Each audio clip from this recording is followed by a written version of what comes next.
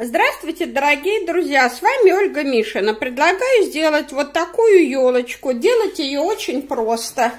Я даю к ней шаблон. Здесь даже есть вот такая подвижная крутящаяся штучка, элемент.